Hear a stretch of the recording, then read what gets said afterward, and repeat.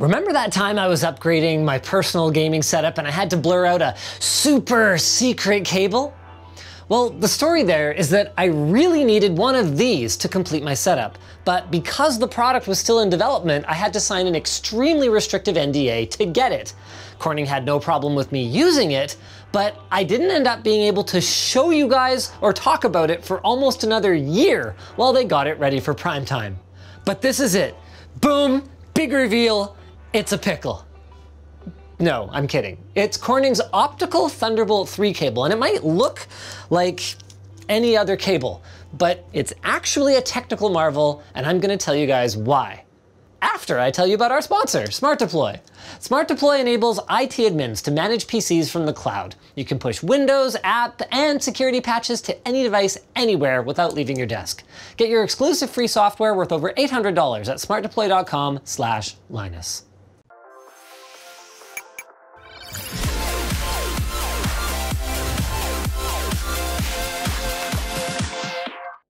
From the first day I installed a high performance graphics card in my PC, I dreamed of a way to keep my gaming space both cool and quiet without compromising that sweet, sweet performance.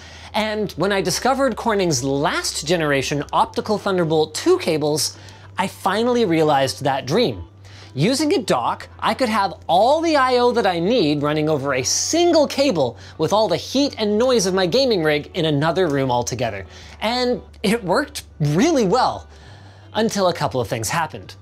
First, I wanted to upgrade my machine, and Thunderbolt 2 isn't really a thing anymore. And second, every single one of my first gen Thunderbolt 2 cables died due to what was apparently a fairly widespread overheating issue a cable that overheats? As it turns out, that's just one of the many reasons this thing took years to develop. Another is that it took many, many months to get the firmware just so to appease the Intel certification gods. And okay, hold on a second. We got overheating. We got certification. What kind of electrical cable is this? I'm glad you asked, because it's not one it's a fiber optic cable. Now, most optical cables contain one or two strands of fiber optic filament, but this one has six. Each of them is just one quarter of a millimeter in diameter with a glass center that is just one eighth of a millimeter and then a core where the light actually travels that is less than half of that again. Fibers like this are used in many data centers and can transmit 20 gigabit per second. So then one pair in here transmits 40 gigabit per second, another pair receives 40 gigabit per second, and the remaining pair carries lower bandwidth control signals between the two ends of the cable. All of this is done internally, and to the devices on either side, it appears as a completely normal Thunderbolt connection. No drivers required. That is why it needs this. Yes, my friends, we cut apart a $400 cable to show you this. Packed inside each of the connector ends is a tiny little circuit board containing the components that take an electrical signal, convert it to an optical signal, transmit it over each fiber, and then convert it again at the other end. Each connector contains three VCSELs, or vertical cavity surface emitting lasers, a type of light source that's common in fiber optic networking because its narrow beam and fast switching speed offers superior performance and range compared to LEDs, but at a lower cost than full fat laser emitters. There are also three photodiodes, which are the detectors that receive these laser signals, along with chips to control the laser timings and to receive the photodiode signals and turn them back into electrical ones. You can actually see that Corning has put a lot of work into designing the strain relief that protects the optical fibers and bonds the circuit board to the cable. Okay, the thing is, glass fiber is, well, it's glass and it needs to be treated with a bit more respect than copper in order to avoid breakage. You guys might actually remember when we fiber opticed my house and Colin accidentally broke one of the fibers as we were running it through the attic and we had to run out and replace it. That was an adventure by the way, definitely check out that video if you haven't seen it. With all that said though, Corning claims that this is one of the most durable cables they have ever made, which naturally means that I want to test it. We'll just plug into our Thunderbolt port here and then Type-C, Type-C. This dock should not work. Okay, just because Thunderbolt and USB and DisplayPort for that matter can use this same Type-C connector doesn't mean that every port and every dock and every cable can actually carry all of those signals. And in fact, this cable can only carry a Thunderbolt signal. So no problem. Let's go ahead and plug in this Thunderbolt SSD then. No. Right, okay. This is an optical cable. What can we not transmit over fiber optics? Power. Uh, one moment, please. Uh, uh, uh, now we can do our durability test. That's looking good, getting speeds of 200, 300, 400, 500, no, 400 megabytes a second. And if Corning is to be believed, we can do crazy stuff, like tie this thing in a freaking knot and wrench on it. And it shouldn't stop transferring.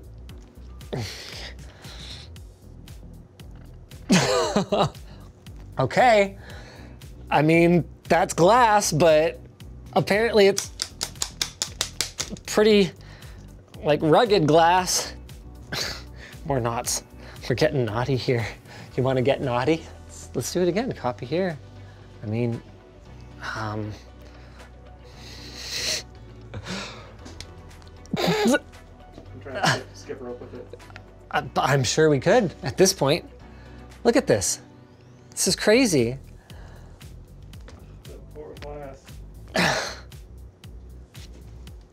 Easy peasy.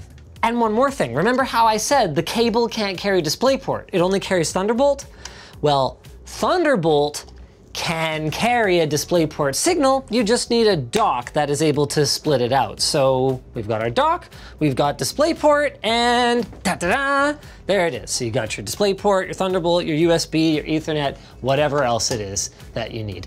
And the really, truly mind-blowing thing here is that for the laser light to be transmitted, the fiber in each of these cables has to be prepared exactly like the polymer coating on each fiber has to be removed, precisely cleaved, then the fiber has to be perfectly aligned and secured to its assigned laser or photodiode within 10 micrometers of tolerance. And much of this fiber handling work is performed in a clean room by hand and is super labor intensive. That is why they cost so much. But the thing is, copper Thunderbolt 3 cables like this one, can only reach a maximum of three meters before the signal degrades too much. So while these are cheaper, for certain applications, this is just the only way to do it. But how well does it work? Okay, hold on. I've actually got something perfect to test this. Uh, where did we put it? Oh, uh, oh, hey, there it is. Check this out.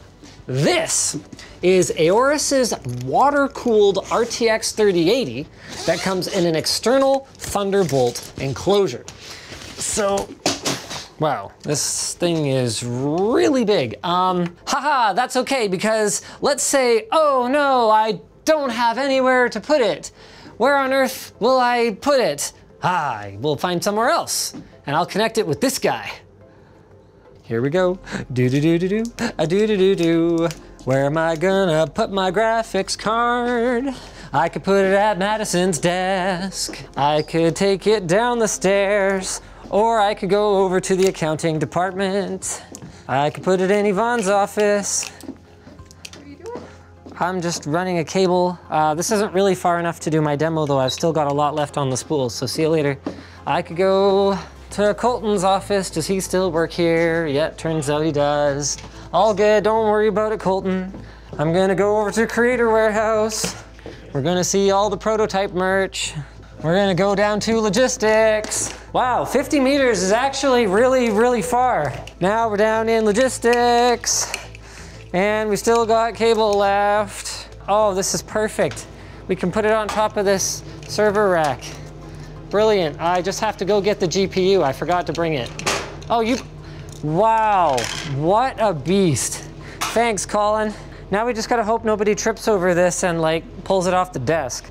Gotta go back.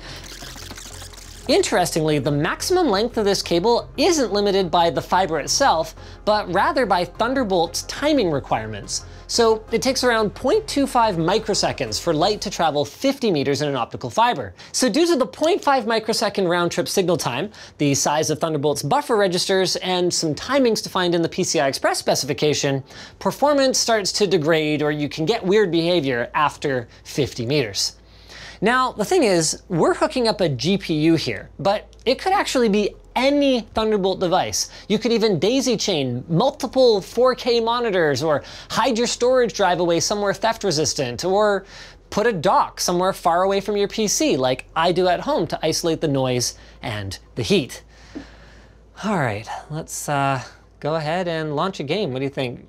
And that is definitely not running on the integrated graphics. I mean, to be clear, this XPS 15 has a very respectable RTX 2060 in it, but this is Shadow of the Tomb Raider running at 4K, absolutely maxed out, and we are getting significantly better numbers. 34, oh, okay. But a 38 should be able to do more than that. Yeah, okay. So that's the thing. Um, maybe a PCI Express 4X interface shouldn't have such a powerful graphics card on it, but at least the cable's holding up just fine since no one has tripped over it yet.